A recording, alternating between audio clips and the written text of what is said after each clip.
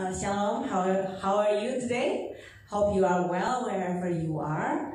And we are still uh, doing the online services for the next coming Sunday and also for the Good Friday and also for the Passover Sunday.